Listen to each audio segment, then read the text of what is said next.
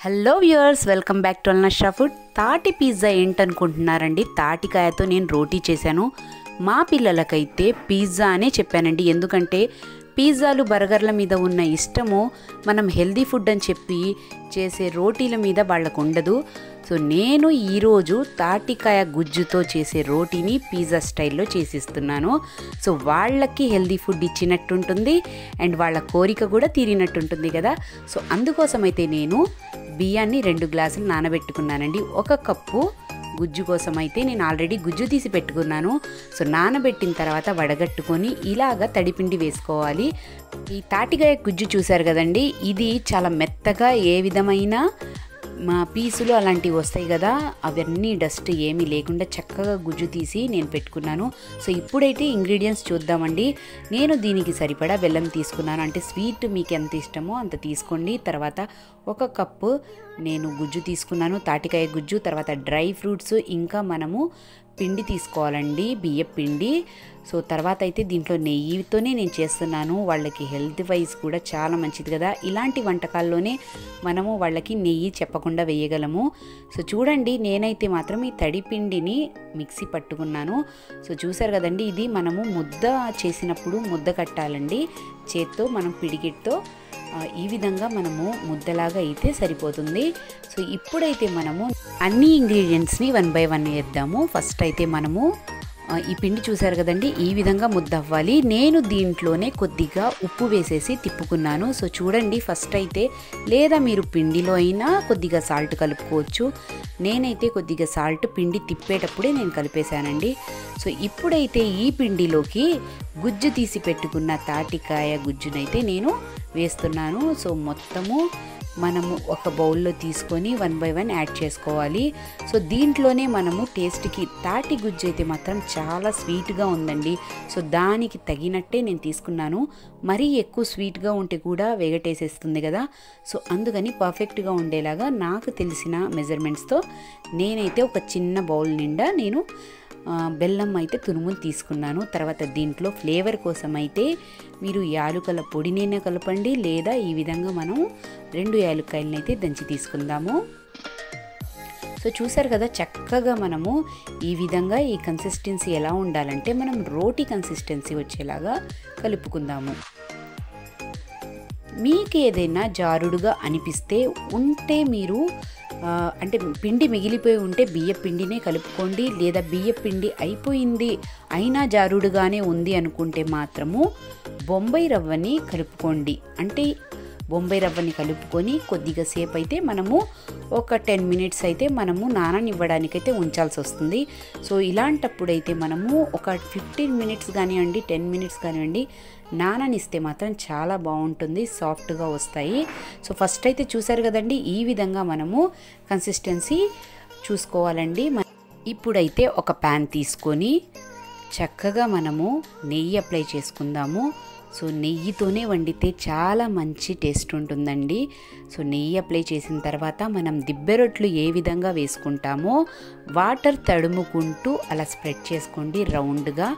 So పిల్లలు అయితే మాత్రము ఖచ్చితంగా ఇది పిజ్జా అని చెప్పే తింటారు. చాలా స్వీట్గా మంచిగా డెకరేట్ చేసి మనం ఇచ్చామంటే మాత్రము ఖచ్చితంగా వాళ్ళు ఇష్టంగా తింటారండి.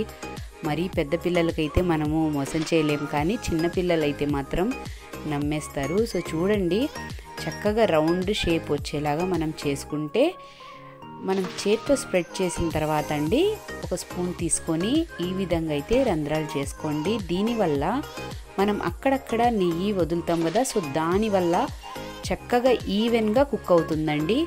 తర్వాత అయితే మనము ఈ విధంగా అంటే డాట్స్ అంటే రంధ్రాలు చేసుకున్న తర్వాత దీంట్లో మనము నెయ్యి వదలాలి. రిఫైన్డ్ ఆయిల్తో కూడా వండుకోవచ్చు కానీ ఎప్పుడో ఒకసారి సీజనల్గా ఈ కాయనైతే నెయ్యితోనే చేసుకోండి. ఈ విధంగా రోటీనైతే చాలా మంచి ఫ్లేవర్ అండి గుమగుమలాడుతుందండి. బాగా పండిపోయినవి అయితేనే చాలా టేస్ట్ వస్తుంది. సో మనకు తెలుసు కదండి చాలా మంచి హెల్త్ బెనిఫిట్స్ ఉంటాయండి తాటికాయల్లో. సంవత్సరానికి ఒక్కసారైనా కానీ ఈ కాయనైతే మనం తినాలని చెప్పి అంటారు పెద్దవాళ్ళు.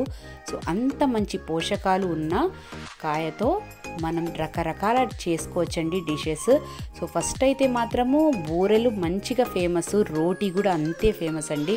సో దీంతో అయితే బిస్కెట్స్ చేస్తారు గారెలు చేస్తారు ఎన్ని రకాలు చేసినా కానివ్వండి హెల్త్ కాన్షియస్గా చేసుకుంటే మంచిది. అవన్నీ మనము ఆయిల్లో ఫ్రై చేయడం కంటే ఈ విధంగా రోటీ వేసుకుంటే తక్కువ ఆయిల్తో లేదా తక్కువ నెయ్యితో చాలా మంచి టేస్ట్ ఉండే రోటీ అయితే బాగుంటుందండి. సో ఫస్ట్ అయితే మనము వేసేసిన తర్వాత డాట్స్ పెట్టుకొని నెయ్యి వదిలాం కదా ఇప్పుడైతే దీని మీద మనము చక్కగా డ్రై ఫ్రూట్స్తో మనము గార్నిష్ చేసుకుందాం. అంటే మంచిగా డ్రై ఫ్రూట్స్తో డెకరేట్ చేసుకోండి.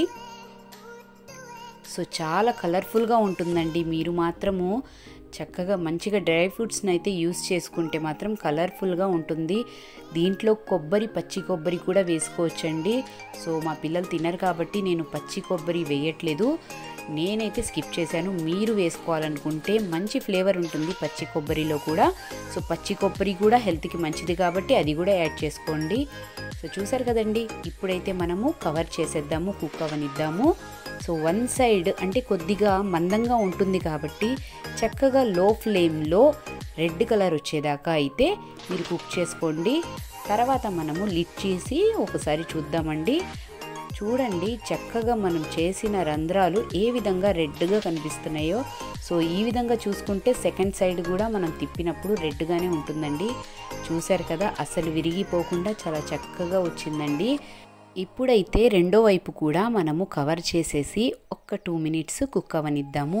ఇప్పుడు సెకండ్ సైడ్ కూడా మనం కాల్చుకుంటే చాలా రెడ్గా బ్రౌన్ కలర్ స్పాట్స్తో చాలా మంచి లుక్ ఉంటుంది.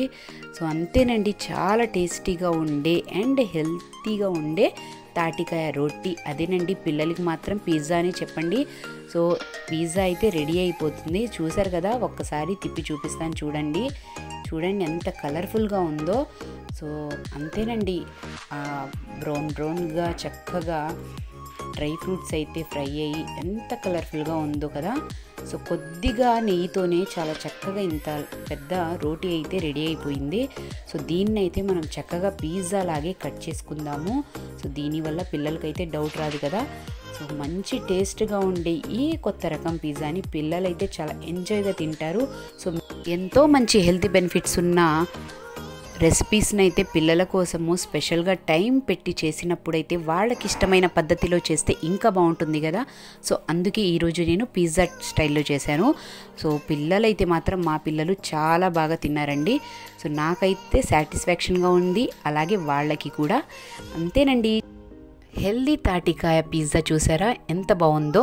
సో ఇలాంటి హెల్దీ రెసిపీస్ మీరు మీ ఫ్రెండ్స్ అండ్ ఫ్యామిలీతో షేర్ చేసి వాళ్ళు కూడా ప్రిపేర్ చేసుకునే విధంగా హెల్ప్ అవ్వండి. సో నా ఛానల్ అయితే మీరు తప్పకుండా సబ్స్క్రైబ్ చేసుకోండి. అలాగే చూసిన వీడియోని అయితే తప్పకుండా లైక్ ఇవ్వండి ఫ్రెండ్స్. దీనివల్ల మాకు చాలా ఎంకరేజ్మెంట్గా ఉంటుంది. ఇలాంటి మంచి హెల్దీ రెసిపీస్ ఇంకా మీకు నేను పోస్ట్ చేస్తూనే ఉంటాను. సో మీకు నా నోటిఫికేషన్ రావాలంటే బెల్ ఐకాన్ అయితే క్లిక్ చేయండి. Thanks and thanks for watching. Please do subscribe my channel.